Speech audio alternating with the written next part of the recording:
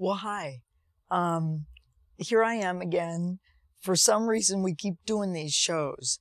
And uh, this time, we have some real good guests that I'm really excited to share with you. Um, would you uh, think about what you would really like to see happen in a uh, maybe uh, 10 years or so with our government in the White House, and all of a sudden they say, and here's the President of the United States, Roxanne Qualls. So here's Roxanne. I'm just well, thank you. I would really like that. Um, I uh, I don't know much about city government. I keep dealing with these people who know tons of stuff about city government, Mm-hmm. and I don't know much of anything. Uh, but you know, the one thing I know I'm supposed to do is vote all the time, uh, only once, and uh, Preferably. and preferably. And uh, I know I'm supposed to vote for you because you're concerned with the stuff that I really think is important. Earth Day is Sunday. Mm-hmm. What are you doing for Earth Day? well, I've been doing stuff all week for Earth Day. Oh God, I bet. In fact, on uh, on Tuesday, it was a real it was a real nice day. I started out talking to high school students in the morning, college students at noontime, uh, the 500 employees of Fernald at 2:30, Oh, Lord, and then uh, are they really annoyed?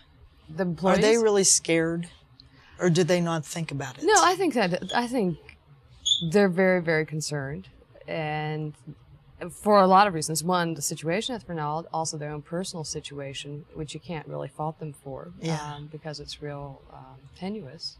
Yeah. Um, and and I think that they also are. Some of them are as frustrated as the rest of the community. yeah. You know, they want to see faster progress. They want to see cleanup. Um, walking out to the car, I heard complaints saying, you know, if they, if, if, if the Department of Energy would just give us the money, yeah. and instead of behaving like they've been behaving for the last 40 Which years. is not quite as good as we want them to Right. behave. And then today was great. It was Fountain Square. It was the uh, kickoff of the of actually Earth Week with a with a kind of all the a lot of environmental groups and, Yeah. and different groups on the square. And Saturday is the big eco fair at the Natural History Museum. Oh, that's and right. Sunday from 12 to noon, and then Sunday evening. Well, Sunday evening I'll be giving a speech also at a a church, and then later on be on a radio talk show. The kickoff is from noon to It's 12 to 5 Saturday and Sunday at the Natural 5. History Museum. uh huh. I it's a great it's a it's a great week. I really like it that you um, kind of take on uh, the stuff that should be concerning people. Um, you take on. Here's something that I didn't see that you took on. You didn't. you didn't take on Mapplethorpe, but you went there. I understand. Yes, actually um, actually it was by accident. I was intending to go, but the week prior to it opening, um, I was in a meeting downtown and going across the skywalk and there was a special viewing. Oh, for out. and and I knew the person at the desk, and they said, "Well, why don't you come in?" And I said, "Sure." And it was very nice. There was no crowd, and you could just And you weren't totally disgusted or anything. No, I mean Mapplethorpe is is, is a, a a good photographer, and That's some right. some of his art is he's a great photographer. Uh-huh. Um, I think the stuff that is causing the controversy, the X Y Z exhibit, um, you know, I might not purchase magazines that contain those pictures, and probably Yes. wouldn't. And I actually do object to to the violence and the domination message Yeah. that he is depicting. But I also understand he was seeking to depict what existed.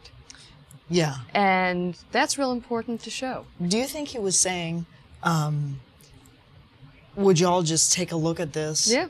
See what actually is going on And talk about it. and talk about it? Yeah.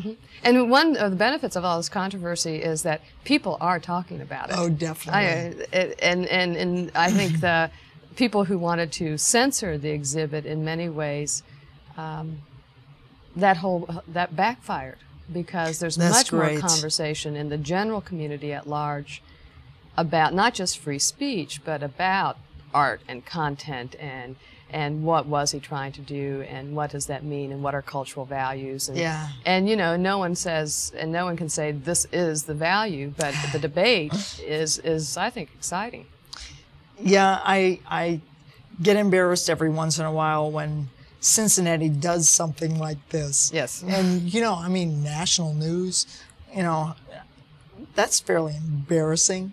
You know, but on the other hand, it's like yeah, but the other side of Cincinnati really came out for this and uh, did start to talk about it. Yeah, the, I think that's important. The other side is is that the uh, that there is, has been a tremendous amount of conversation about this, Uh-huh. and in some ways, what is what's better? Is it better for Mapplethorpe to come to town and there's no Nobody discussion, sees it. Yeah, right. You know, or, Or talks about it or I don't think that talking about it necessarily means that Simon Leis and Larry Whalen and those folks have to go in and bust people, you know, and, and bust the exhibit. But I mean, we don't have to have that. But Yeah. the conversation is, I think, healthy. A friend of mine went down there. Uh, their teenager wanted to go, but she wasn't allowed to go Right. because she was not old enough. And so they went in there when they were actually videotaping and when they closed down the show. And um, the uh, people who were held out of it were saying, The world is laughing, the world is laughing. yeah, I live here pretty good.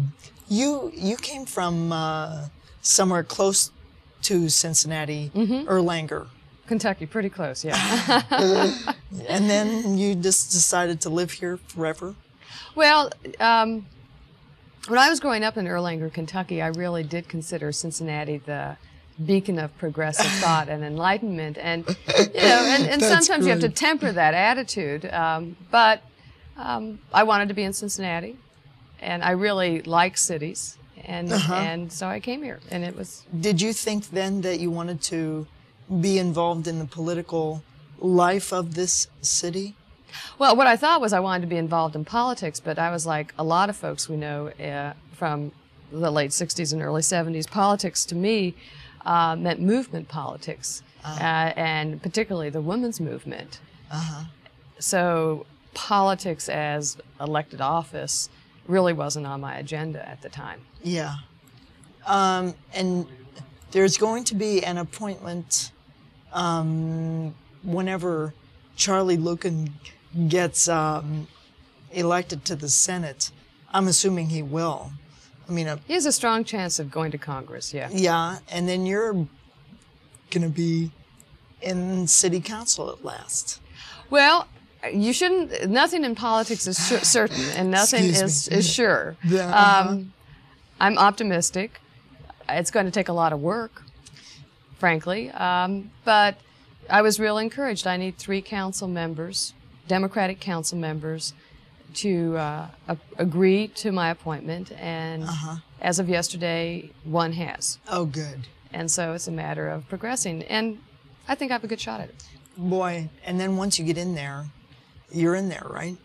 Because Well- all the uh, people that get in just keep getting elected and elected for the next so many years. Well, the truth of the matter is, is that if you're appointed, if you're going to lose, it's going to be the very next election, and so Okay. you just have to work like a dog, Well, I make mean, sure you win.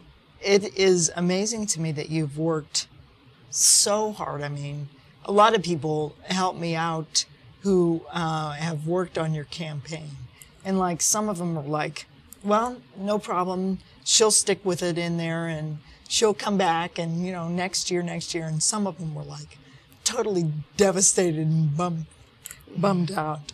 Um, but you just seem to, you know, keep working on it, and next It'll happen. time, It'll happen. boy, I really, I really think it will, and uh, I, um, I want that to happen.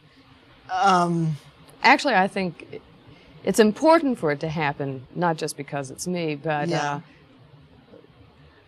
but when I win, it will send a signal that people who have been told that they cannot participate, they cannot hold office, uh, will know that that's not true. That's right. and that you know it might mean that you don't win the first time it might mean you don't win the second time but you know, and I think the, clearly the political establishment got that message when I was just short 2,000 That's votes. They were in shock. God, that was great. I I just know. loved it. Yeah, Wednesday was a bummer. The next day, Yeah, but it was you know, yeah. but Yeah, but that you recover. yes, I uh, I just uh, I'm I look at you up there and doing all the stuff you do, and I get so impressed. And um, people say stuff to me all the time about, oh, you're so you know this and that, and they talk about talent stuff, and it's like, give me a break, you know, next.